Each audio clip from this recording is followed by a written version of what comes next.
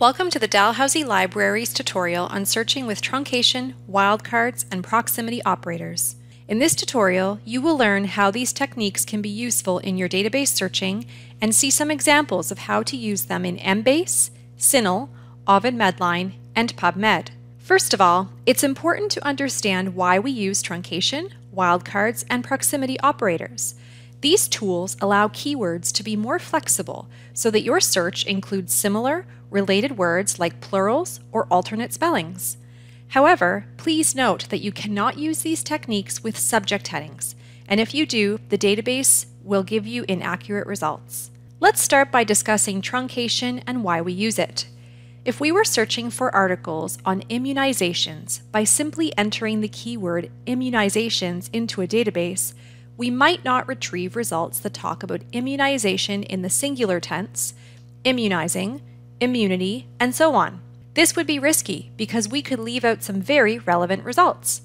To solve this problem, you could use the truncation technique and instead search IMMUNI asterisks, with the asterisks representing various possible word endings.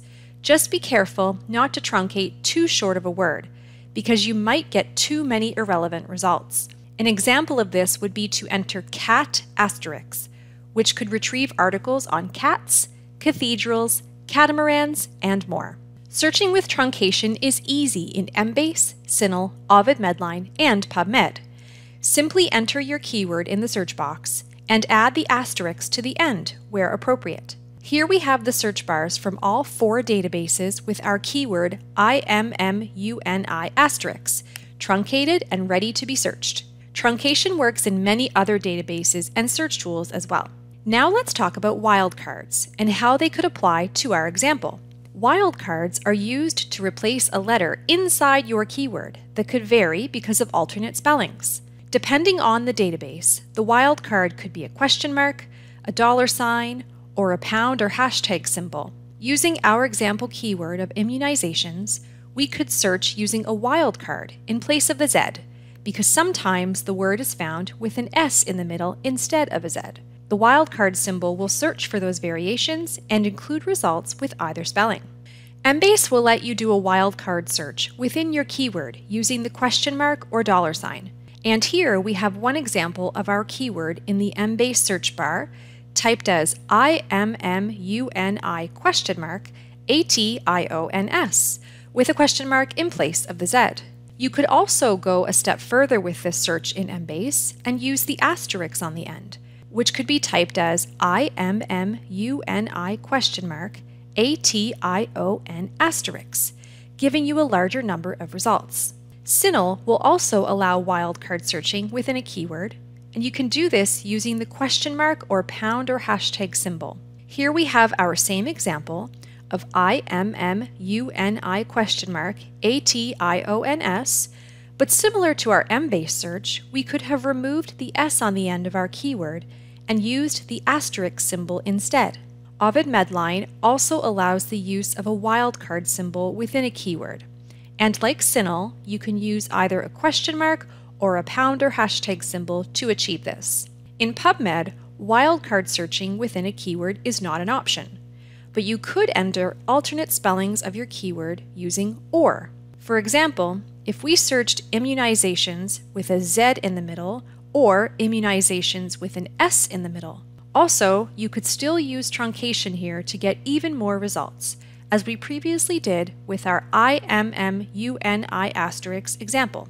Proximity operators, also referred to as adjacency operators, are another way to search, and they help us specify what phrases we want in our search results. For example, if we wanted articles that discuss immunization record, we might also want results that mention phrases like record of immunization or recorded date of immunization.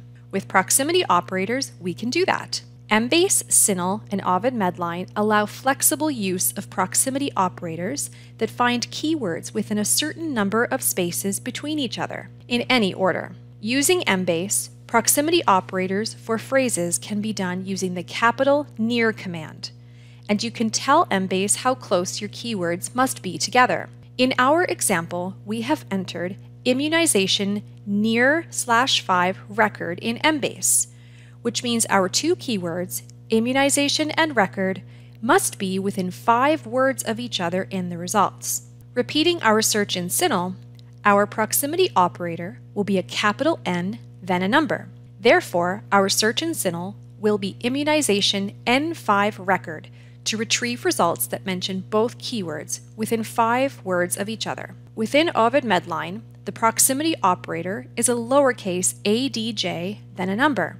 Therefore, our Ovid Medline search will include immunization ADJ5 record. In PubMed, we also have the option to use proximity searching, but the command will be formatted differently than other databases. Using our immunization record example, we will enter double quotes, immunization record, double quotes, then opening square bracket, TIAB colon, tilde 5, closing square bracket. We have just instructed PubMed to find the keywords immunization and record within five words of each other in the title or abstract fields of PubMed's records. You can modify this to search other fields, like the title only, by replacing TIAB with TI, and you can also change the number to be smaller or even larger, thereby adjusting your results.